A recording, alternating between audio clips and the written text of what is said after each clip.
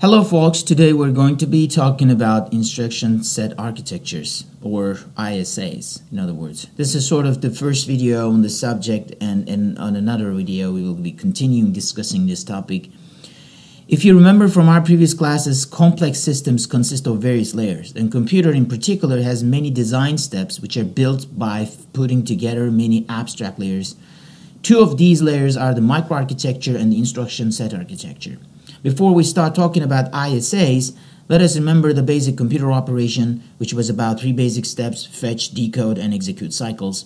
Uh, in addition to these three, uh, there were also locating operands, loading, storing data, which were essentially, um, you know, the fundamentals uh, for the von Neumann model. The unavoidable element of von Neumann model was, was called program counter, and it was pointed to the next instruction after executing the current one. So what is instruction set architecture? It's, it's a very well-defined interface, uh, or in other words, contract between the software and hardware.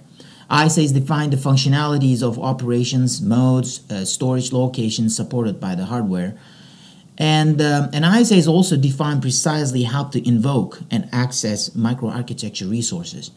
However, ISAs, for example, do not guarantee or say anything relevant uh, with regard to the way, uh, way the way operations are performed or handled. They do not tell about operations, you know, being fast, slow, prioritized, or power hungry. What makes an ISA good um, is also, I think, another question. Uh, probably you wouldn't want to write uh, very long lines of code to perform a simple mathematic operation, right? So one of the criteria might be the programmability. Um, the other one could be the implementability. In other words, an ISA set that can lead to simple hardware but yet enables writing high performance programs um, or low power programs or reduced cost programs or more, more importantly, highly reliable programs like that that doesn't break. Finally, a good ISA must maintain, maintain programmability to different versions. This is either called backward or forward compatibility. As an example, in a good ISA, new processors, for example, must support all programs, and similarly, old processors must support new programs. This is called, again, uh, the backward or forward program, um, uh, backward or forward compatibility. One of the well-known and maybe the most popular, most implemented architectural model of our generation is known as von Neumann model. And as the name implies, introduced by John von Neumann in 1945 in an army-supported project. It's a stored program computer, in other words. Instructions are stored in memory. Uh, I think you are already familiar with this, with this model, but we're going to be now touching upon the details.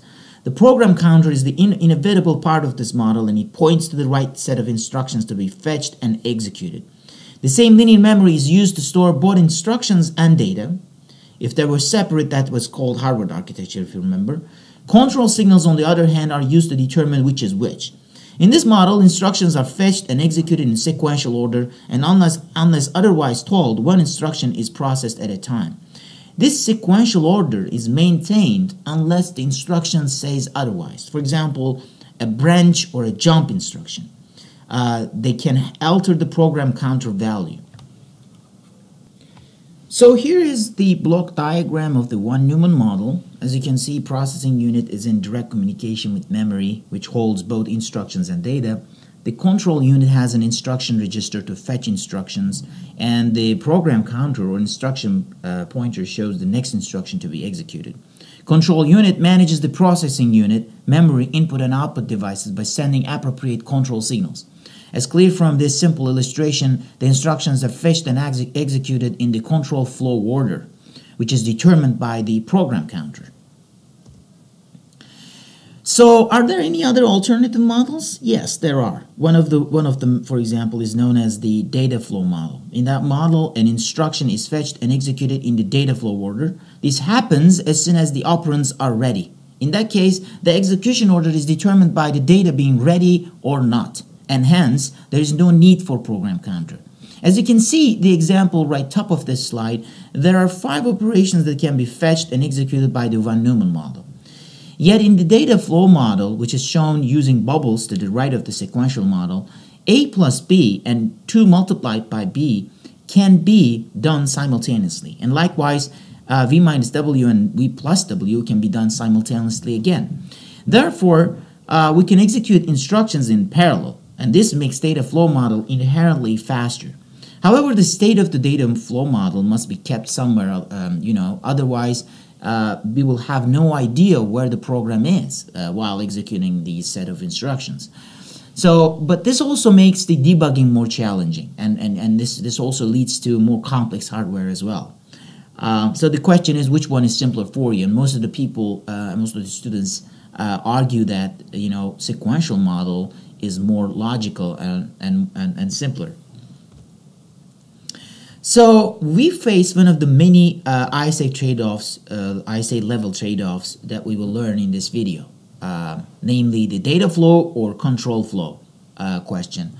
Deciding on one of these architectures uh, usually does not, on, does, on, does not only involve making decisions on the parallelism, but also on the complexity and latency issues. Due to the complex nature of data flow implementations, relative to von Neumann model, data flow architecture hasn't reached a commercial success of its time. Going, going back to ISA discussions, these architectural models determine how the programmer sees the execution order. As in today's microprocessor technology, microarchitectures, even though they use von Neumann model, but they, they can execute instructions in any order, and the programmer does not know the order at all. Um, however, they have to obey the microarchitecture designers, they have to obey the semantics specified by the ISA when making the instruction, um, you know, results visible to the software. So these are these are important uh, topics to discuss. As we mentioned, most of the commercial ISAs in the market use von Neumann model. Microarchitecture, which is beneath the ISA level, can, can use advanced implementation techniques serve the, to serve the programmer better in terms of performance, cost, latency. These ISAs can be, for example, x86, ARM, MIPS, etc. Anything that's not consistent with the model is not exposed to the software. ISA is a contract, as I said, between, between the software and hardware, um, and, uh, and the microarchitecture is a specific implementation of the ISA. So think about the question, which one is easier to change? ISA or microarchitecture, which one? Remember that ISAs are like standards. Once you set, you have to be backward or forward compatible, and all the software you write must obey the semantics implied by the ISA. Whereas the microarchitecture designer can do anything he wants as long as he's compatible with what ISA definition. So keeping these mind in mind, uh, try to answer that question: which one is easier to change? So the ISA architect can expose a set of resources for the programmer to use and control the hardware.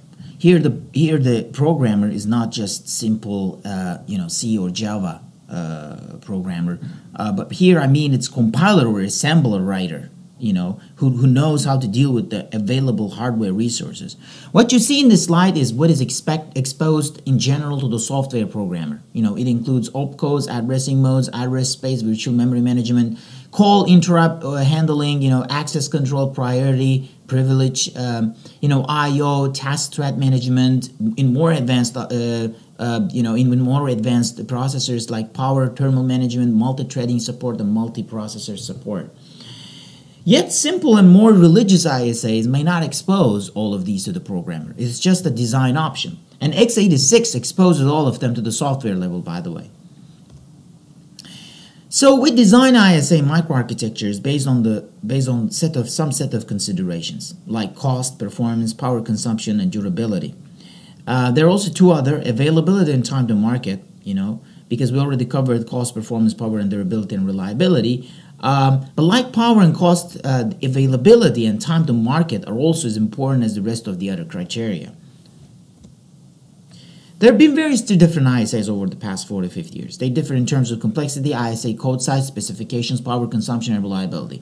For example, x86 and VAX are examples for CISC architectures. There are also single instruction, multiple data uh, processed ISAs such as Cray1 and VLIW ISAs. Uh, on the other hand, RISC ISAs are relatively simpler and have less number of instructions compared to more complex instructions architectures. Opcodes uh, address the job in, uh, the job instructions supposed to do. There are also operand fields, which indicates the values the instructions would be operating on. We will touch base on more details about the instruction ingredients, uh, ingredients in the next lecture. Here are some example RISC ISAs, 32-bit long uh, alpha, for example, and 60-bit long LC3B. As you can see from these examples, opcodes are at the beginning of the ISA specification, and it's a nice characteristic of RISC approach, as the locations of these fields known to microarchitecture will make the control logic simpler. On the other hand, x86 may have opcodes all over the place depending on the prefix. The control logic needs to figure where the opcode is located. This is more work than simply decoding the instruction. LC3B uh, uses 4 bits for the opcode, which enables 16 different operations to be performed.